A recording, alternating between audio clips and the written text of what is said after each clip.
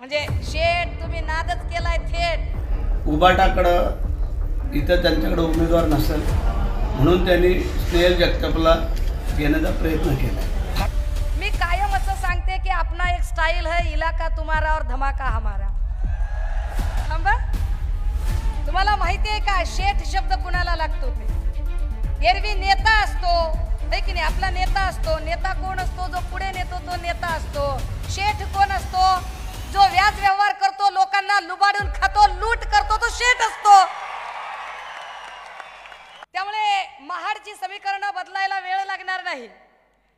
कुणीतरी एक जण म्हणाला की असं झालं तर तसं झालं तर. मी कायम असं सांगते की आपला एक स्टाईल है इलाका तुम्हारा और धमाका हमारा त्यामुळे भरत शेठ गोगावले यांच्यावर मी उभ्या महाराष्ट्रात कुठेही बोलले नाही. पण त्यांच्या इलाक्यात घुसून बोललं पाहिजे. आणि त्यांना हे सांगितलं पाहिजे की अरे थांबा अरे थांबा. तुम्हाला माहिती आहे का शेठ शब्द कुणाला लागतो ते? एरवी नेता असतो है की नाही? आपला नेता असतो. नेता कोण असतो? जो पुढे नेतो तो नेता असतो. शेठ कोण असतो? जो व्याज व्यवहार करतो लोकांना लुबाडून खातो लूट करतो तो शेट असतो. पन्नास खोक्यातनं चिकार लूट करणारी माणसं लबाड्या करणारी माणसं.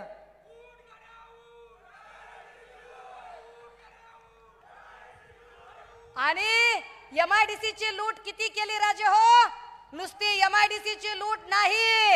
एम अख्खा भंगार ना भंगार विकून खाल्लं यांनी. अख्खं स्क्रॅप विकून खाल्लं. आता या ऐतिहासिक साक्ष देणाऱ्या महाडला हे सोन्यासारखं महाड जर भंगार होऊ द्यायचं नसेल ना तर भंगार विकून खाणाऱ्या लोकांना जागा दाखवल्याशिवाय राहायचं नाही. हे ताकद कळली पाहिजे. कारण इथल्या एम आय डी सीचे प्रश्न काय आहेत हे वेगळं सांगायची गरज नाही. आमचा एक इथे लल्ला म्हणून होता लल्ला रत्न पारखी.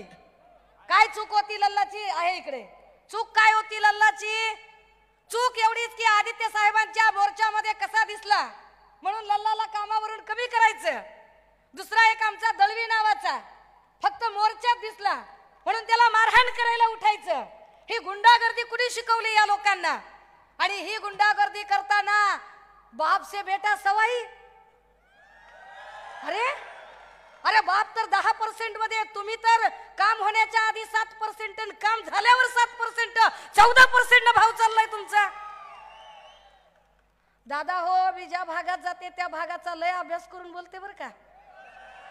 त्याच्यामुळे ह्यांच्या पर्सेंटेजचे भाव पण मला चांगले माहिती आहे.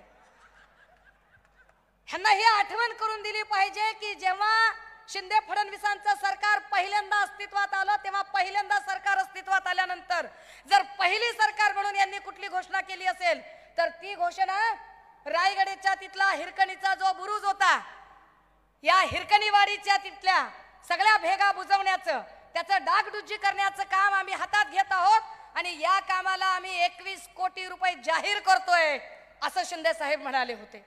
म्हणाले होते की नव्हते? एकवीस कोटीतले एकवीस पैसे सुद्धा त्या हिरकणवाडीसाठी खर्च झाले नाही. एकवीस कोटी कुठं गेले हे एकदा शेठला विचारावं लागेल. म्हणजे शेठ तुम्ही नादच केलाय थेट. आणि हिरकणीवाड्याची पण झाली का लूट हे एकदा विचारावं लागेल त्यांना. हे की नाही?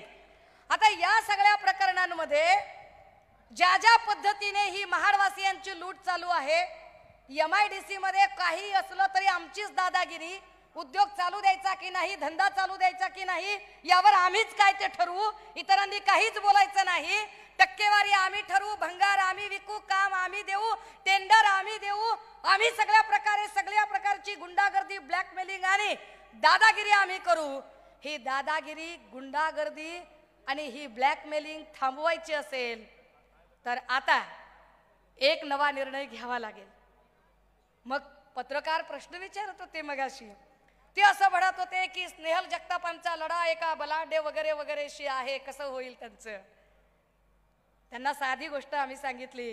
राजे हो बलाढ्य ताकदवर विजयी प्रस्थापित हे शब्द उद्धव साहेब ज्यांच्या पाठीशी उभे राहतात त्यांना लागतात. कालपर्यंत मातोश्रीच्या सावलीला जे उभे होते त्यांना तो विजयी शब्द अनुभवता आला. ज्या क्षणी त्यांनी मातोश्रीशी बैमानी केली तो विजयी बलाढ्य ताकदवर आणि महाडकरांच्या काळजात राहणारं नाव हे स्नेहल जगताप आणि येणाऱ्या काळातले नाव असते. हे ताकदीनं मांडलं पाहिजे.